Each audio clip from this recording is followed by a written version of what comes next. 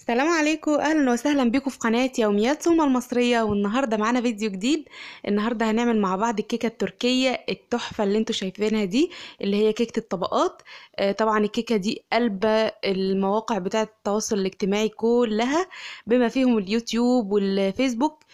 آه، طبعا من جمالها وسهولتها وحلاوتها وزي ما أنتوا شايفين حتة زي ده حتة. يلا بقى نبتدي ونقول بسم الله ونقول المقادير بتاعتنا عبارة عن إيه. معايا كده أول حاجة زي ما أنتوا شايفين آه، بيضات آه، هبتدي كده ننزل بيهم في بولة كده كبيرة علشان تبقى سهلة بس معانا في في الضرب ومعانا كمان كوباية سكر كوباية زيت وكمان كوباية لبن ومعايا هنا كمان فانيليا وبكيس baking powder ومعلقتين من النشا وكوبايتين ونص من الدقيق. وطبعا الدقيق نخلينه كويس جدا. وهنبتدي بقى ننزل بالفانيليا على البيض. آه هننزل كده بمقدار غطا كده صغير زي ما أنتوا شايفين وهننزل عليه كمان بكوباية ال- السكر بالشكل دوت. وبعدين بالمضرب الكهرباء بقى وهنبتدي إن إحنا نضربهم كويس جدا مع بعض.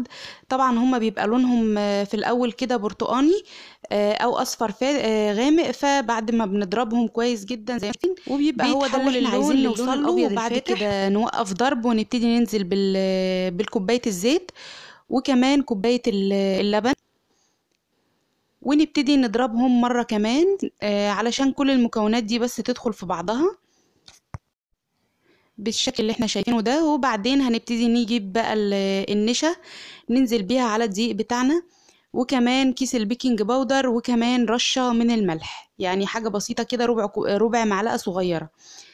ونقلب كده الدقيق كده كويس جدا بال- بالمكونات الجافة اللي إحنا نزلنا عليه بيها.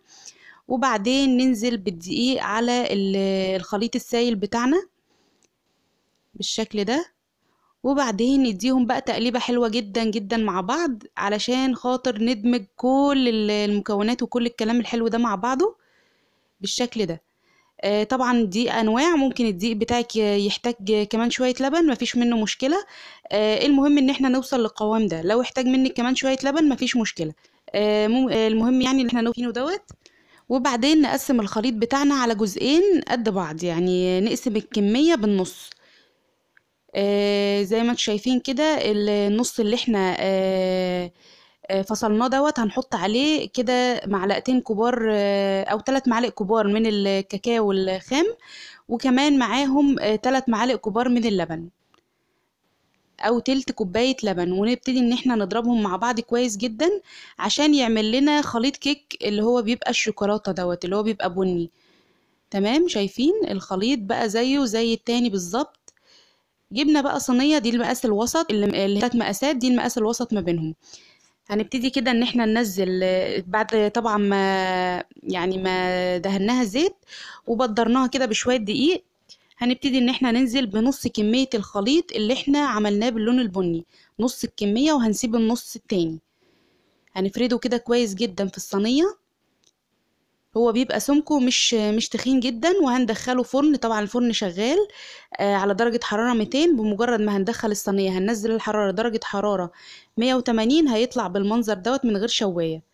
وبعدين هنبتدي ننزل بنص كمية الخليط الأبيض وندخلها الفرن.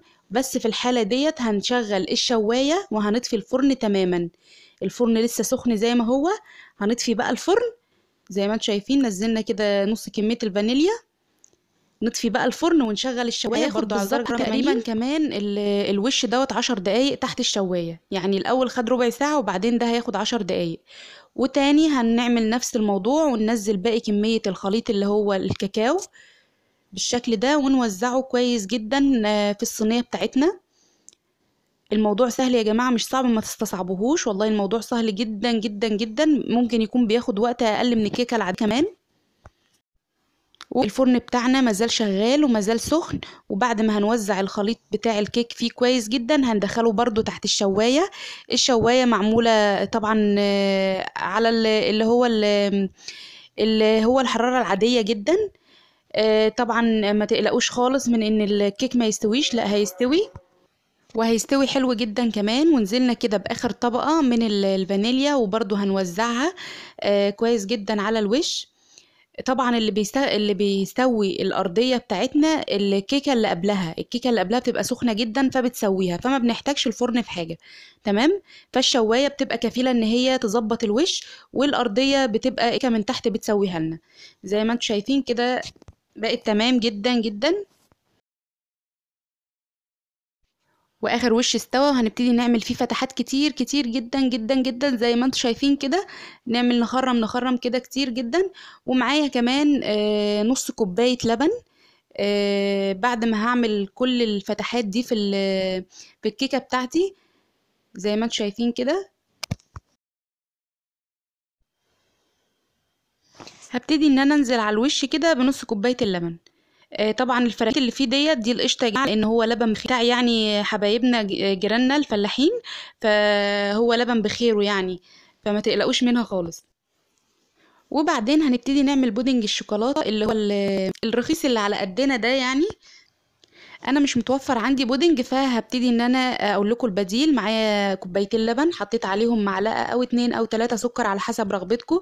ومعايا كمان معلقتين تلات معالق كبار كاكاو خام اللي هو غير محلى ومعايا كمان معلقتين من النشا تمام؟ معلقتين من النشا وثلاث معالق كبار كاكاو خام. هقلبهم كويس جدا قبل ما ارفعهم على النار ومعايا هنا قطعتين شوكولاتة وكمان معايا زبدة. هنقلبهم كويس جدا على النار لغاية لما يتقلوا. زي ما أنتم شايفين هنستمر في التقليب ومش هنشيل ايدنا منهم خالص خالص. علشان بس ولا يتلسع مني ولا يكلكع فلازم تبقى ايدي فيه. والخليط كده بتاعي زي ما أنتم شايفين بدأ يتقل اهو. أو تقل بالفعل. هبتدي بقى انزل قطعتين الشوكولاتة وكمان معلقة الزبدة أو مكعب الزبدة.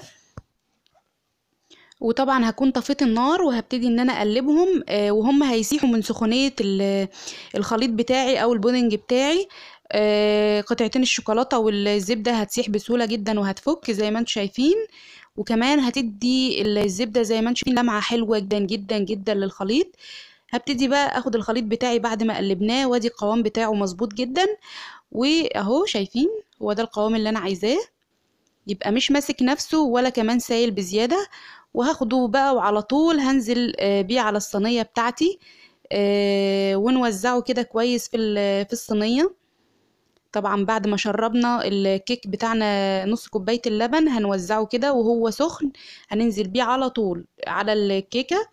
ما تقلقوش مش هيحصل لها أي حاجة. وبعد ما هنوزعه كده كويس هنبتدي إن إحنا نسيب الخليط بتاعنا في التلاجة لما يمسك نفسه وده هيبقى شكله بعد لما يخرج من التلاجة.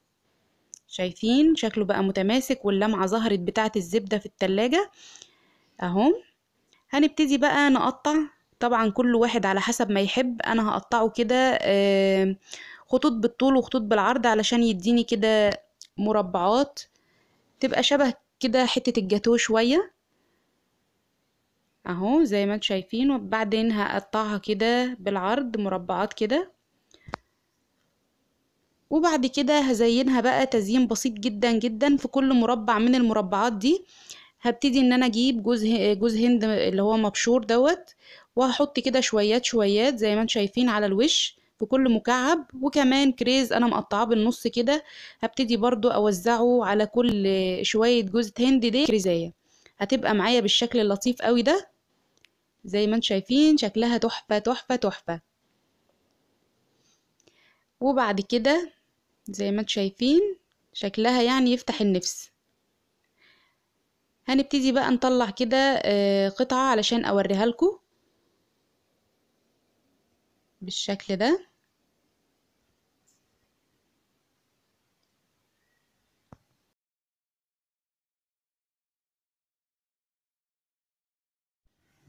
الله. شايفين بقى الجمال والحلاوة والطبقات الحلوة جدا. أنا بدأت كده بالكاكاو من تحت علشان خاطر تبقى آخر طبقة على الوش. هي طبقة البودنج أو طبقة الصوص الحلو بتاعنا دوت.